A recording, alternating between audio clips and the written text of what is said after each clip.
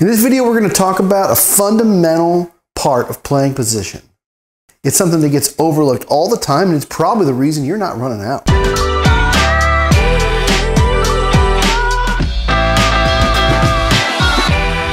Playing position. One of the hardest parts about playing pool. Making the balls is the, kind of the easier part. Playing position is kind of the hard part.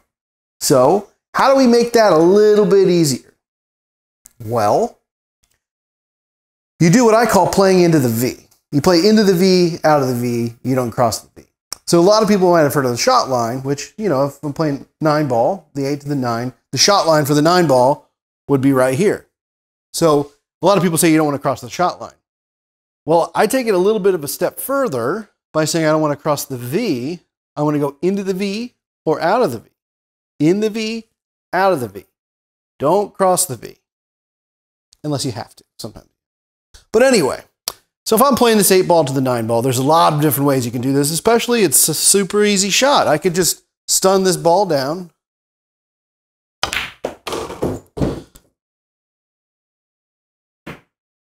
Well, it was easy, right? I got lucky. I still have the shot, but I could have just as easily scratched. Lose the game on a bonehead mistake. So here's what I would have done. Two different shots here. So you can play into the V like this, or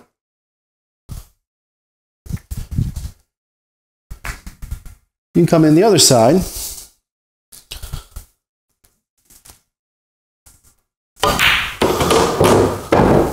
But either way, you're coming into the V and out of the V.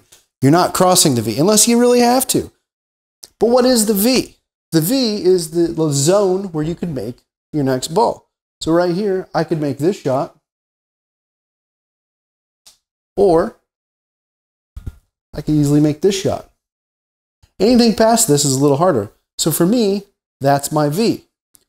So I want to play into the V, out of the V, not cross the V. So here's another situation. It comes up all the time playing nine ball. You're playing the eight to the nine.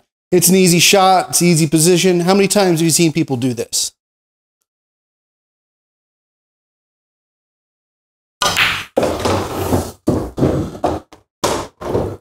Whoopsie. So let's set them back up and talk about what you should have done, what they should have done. You don't want to scratch, you don't want to do a bonehead mistake. Just play into the V and there's less risk.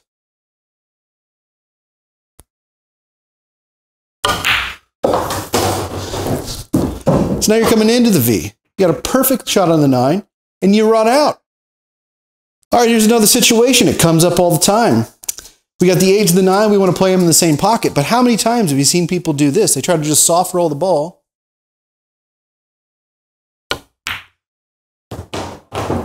And now they got a really hard shot on this nine out of nowhere. I mean, you can make it, but it's a harder shot. So let's set them back up and talk about what I would have done or what a lot of players would have done. Just a simple little draw stroke here, and now you're coming into the V instead of crossing the V.